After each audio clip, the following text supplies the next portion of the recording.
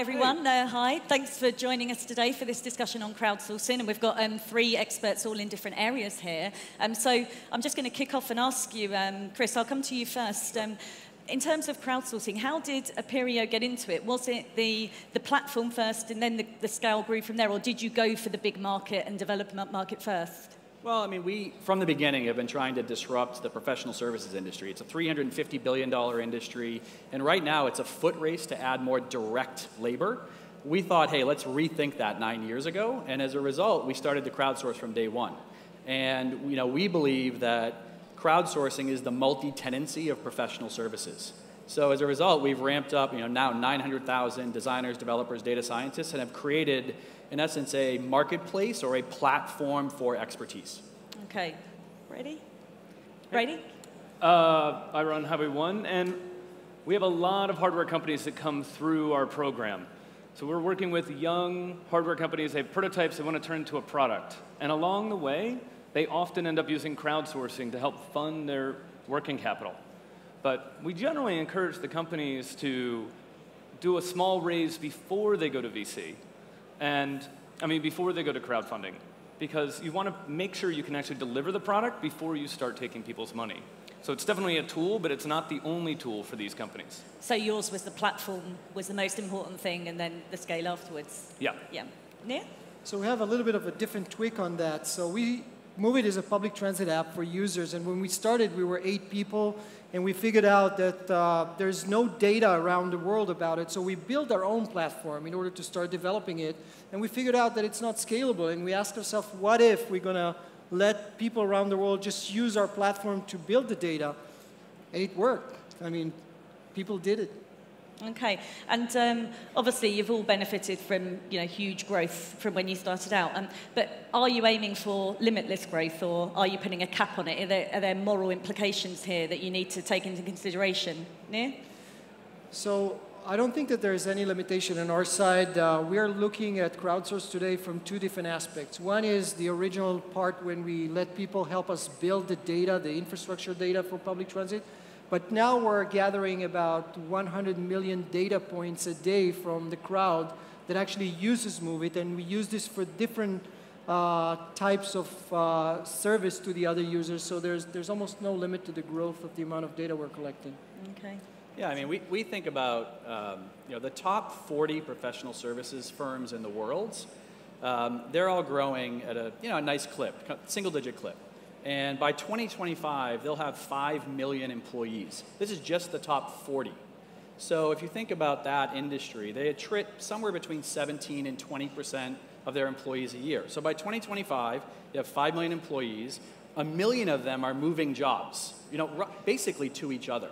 So our view of the world is actually how can we create and put really cool units of work, really, really cool projects on our platform, and then we'll attract amazing talent, amazing supply. So we, you know, we're adding 40 to 50,000 members a quarter right now. So we'll hit the million member mark. You know, we, will get to 2 million, we'll get to 3 million. The challenge of limitless growth, to, to your question, is really cool work. Great, compelling work that the supply wants to participate in. And so we think there's limitless growth on the supply side. It's, it's not a supply side challenge or a talent challenge, it's the demand side. What are the types or the units of work you want to put on that platform? Okay.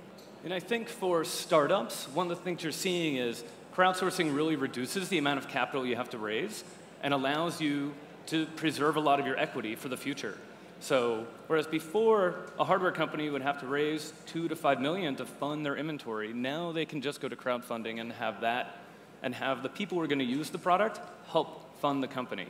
VCs don't like to invest in inventory. And so it's what's allowing there to be kind of a hardware renaissance is the fact that users are getting involved and helping to make these companies possible come back to the hardware renaissance um, because that's an interesting issue around crowdsourcing. But um, you mentioned about the, the, money side of things. And I wonder for each of you, um, how do you balance out user engagement and numbers of users with profitability? How are you looking at this as a money-making model? Brady, do you want to? Well, I mean, for our companies, they have to start factoring in how is this hardware going to make us money? I mean, the way we look at it is hardware is used to deploy software. So any piece of connected hardware is going to be tied back to a service. And so as you have more users join the platform, then hopefully that service will become more valuable. And then as competitors start to come on and start to mimic your product, they'll need to tie into your service. And that's how hardware companies ultimately will make money and show value, is the platform. Okay. Yeah. In our case, again, it's, it's very different because we need to make sure that our users will understand that we will never charge them for the service. And once you're not charging your users for the service, then it's a great thing because a lot of people are downloading it, using it, and we're growing it at 2 million new users a month now, and uh, we have more than 30 million users. But the question is where the money should come from is quite easy for us because there are a lot of services that uh, people are consuming uh, in our world where we could actually charge the operators, the service providers. Like every taxi ride that we generate through Moovit, the taxi operators pays us, not the users. So you need to find a, a balance between growing your community, uh, encouraging people to be part of your, your community because you're not going to charge them for money and generate revenues from different sources. Okay. Yeah, I mean, our, our members join Topcoder for three reasons. They either want to develop new skills. So we launch a series of Swift challenges, and you know, in eight weeks, we had 5,000 developers writing against iOS Swift. So skill development's one. Second is collaboration. They want to be around other developers. They want to learn from other designers. You know, they want to be part of a community. And third is to make money and to win. Now, ideally, you're doing all three. You're making money, you're learning skills, you're meeting with people, but oftentimes we can be running a massive algorithm challenge to do early earthquake detection, and we're not paying out anything. They're just doing it because it's a really hard and cool problem to solve. Uh, so it's really those three. Okay. If I may add something Yeah. to that, I mean, some people are laughing at me and saying, you know, you don't, you don't need to take care of money because we were lucky enough to raise more than $80 million. But I think that the fact that we've raised so much money shows that our investors were really encouraging us to keep running forward, keep pushing the community, and not really being very focused on generating revenues because at a certain point, when you have so many users that are in, in such a retention, you find ways to make money. Did the $80 million come because of the big users, uh, user numbers you had, or whether, what came first? Well, you have to ask the investors, but seriously, I think that it's a combination of the fast growth, growth and also the fact that we're generating unique data infrastructure that today is 50% larger than Google Maps. Yeah, I mean, I think, I mean, I, I mentioned the, on the member or the, the uh, community side, there's three motivations. Certainly, on the enterprise side, you know, we're trying to monetize by subscribe to the platform, we charge a markup fee, and then we can, we can sell them a community architect. But it is, right now for us, it's getting more and more enterprises. You know, it's companies like Coca-Cola or United Healthcare or uh, Facebook who are, who are consuming the crowdsourcing service. That's a higher bar right now because there's questions around quality and privacy and security and uh, very similar types of questions that existed in the offshore world 20 years ago that are now, fast forward, being applied to enterprise crowdsourcing. So with the um, with the Topcoder model and the Appirio model, is that something that is that your target area now into the enterprise market and with those companies? Yeah, I mean, we, we go into our enterprise uh, customers really with two different offerings. We help them migrate to solutions like Salesforce.com, Workday, Amazon, Google, et cetera, with a more traditional consulting approach. But we also bring to bear our community to help them do that better, faster, cheaper with a higher level of innovation. Uh, some companies, some enterprises just want to use and subscribe to our crowdsourcing platform. You know, they believe that is the you know, talent pool of the future. Um, but in other cases, a more conservative company that just wants to move off of Siebel and onto Salesforce, we can bring them our traditional consultants as well. And do you have certain standards for the people who join your community? Do they have to go through some coding challenge or something? Yeah, I mean, honestly, we get, again, 40 to 50,000 signups a quarter. Um, the standard is really developed by participating, practicing. You're competing against dozens or hundreds of other players. You don't have to go through a massive certification process. You end up getting badged and earning points over time. And so a red rated Topcoder member, for example, they've proven their value because they've won a lot of challenges. And a red rated member actually skips levels of interviewing at Google and Facebook because they're proven, they've done it. So it's not a go take this test and then you can be in the community. It's hey, just come on and join. And- And, then and we'll that- prove it over And time. so those badges turn into money for them. the badges can turn into money, it could, could turn into experience, it could turn into, a, uh, again, a better job interview at Facebook.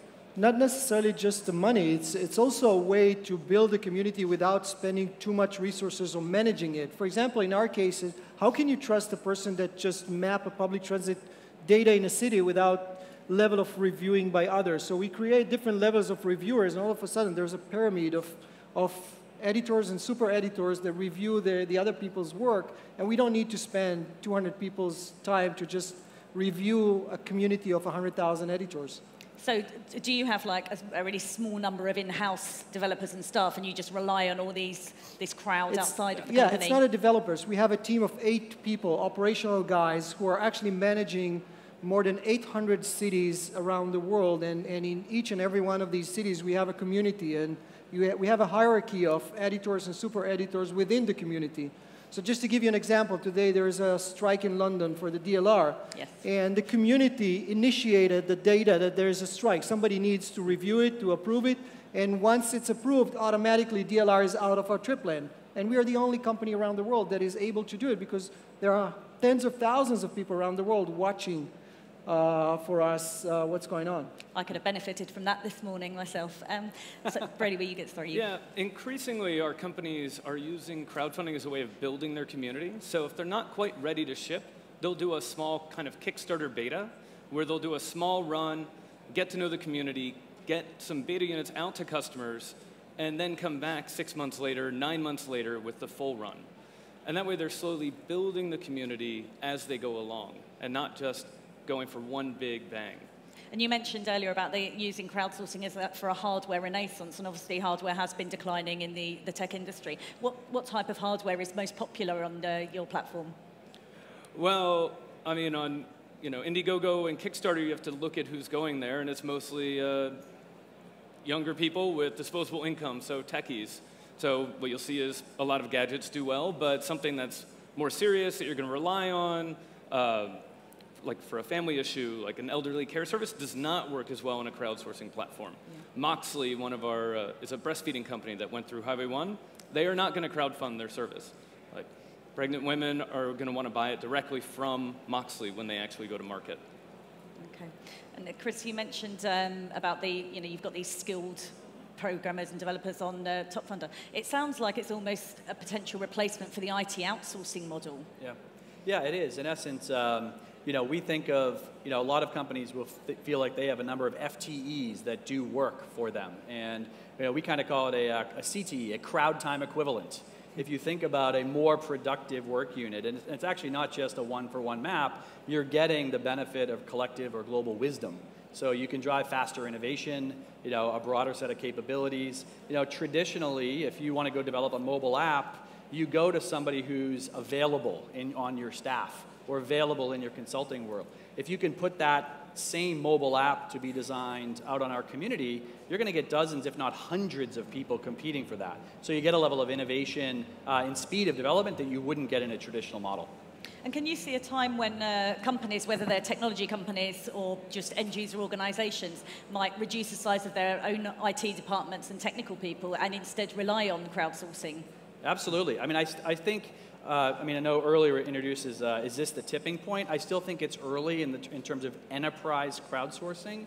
But I think the professional services industry, I like to say, the, the PS industry is going Hollywood. If you think about the Hollywood work model, people aren't, aren't uh, tied to a, um, you know, are tied to, to the different studios. They are tied to movies and projects. They descend on a project, they're loyal to that producer, director, and then they do the film and then they move away. We think projects in IT will over, over time happen the same way. It's a loose collection of people that come together around a project and then they disband. I think that the notion of employee loyalty in our space will change. People are loyal to the work units, not necessarily to their organization. Okay. Nir, is that something um, reflected in your, your space, in the mapping side space, where obviously it's more consumers who you're relying on as opposed to these skilled technical people? Yeah, but in the same time, if you think about it, you know, in one hand you have the consumers, and in the other hand, traditionally there was always the municipalities, the Ministry of Transport, who used to actually manage all this information exclusively. All of a sudden, you know, we are being approached by so many municipalities or Ministry of Transport saying, hey, you're creating something that we're working so hard and still not able to do. And there's a huge gap between the traditional government institutions and, and the consumers that we're able to, to bridge very, very quickly by showing them that the data is, is now more accurate and they can actually use the data. So it seems like, like in the, in the enterprise industry, that the gap can be closed by the community and the, the government. And, and, are there any locations at the moment around the world where the, the, the Moovit application isn't going so well when you haven't got that, that team of on, on the ground people to, to help build the, the mapping system? So, so I'm not sure I understand. Places where we don't have it?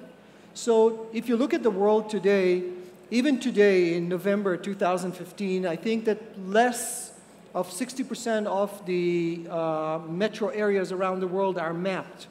And what happened is that data exists in very different ways, and people are still suffering from a high level of uncertainty. And our goal is, in the next three years, to completely cover the world. And it, we are mainly looking at the second, third tier cities where nobody cares about investing the time and money to map. And Crowd can always do that. Okay. Are you contributing to OpenStreetMap? We're contributing on a, on a weekly basis to OpenStreetMap. But OpenStreetMap is just the mapping part of it. Uh, there's a lot of data that does not exist, like timetables, mm-hmm. real-time information, but uh, yes, we're working very closely with OpenStreetMap. And Brady, do you think that the, um, the crowdsourcing model will continue, even though it's a, a software-based thing, will continue to help with hardware innovation and new forms of hardware? Like I'm thinking of 3D printing really sort of like grew up and you know, was helped by crowdsourcing platforms. Well, I think you see that with uh, Thingiverse, which was created by the MakerBot team. And that allows anyone to upload a 3D product uh, and then folks can take it, they can modify it. I think there's actually a bust of me up there, and so if somebody wanted to make like a Brady Forrest bust in various sizes to fit in your living room, you could go and do that. Stephen Colbert is also there, and I, I, respect your choice. But I think we're already seeing this in hardware, in manufacturing, and as 3D printers get better and faster and have better materials, then it may actually start to make a meaningful difference in manufacturing. Okay.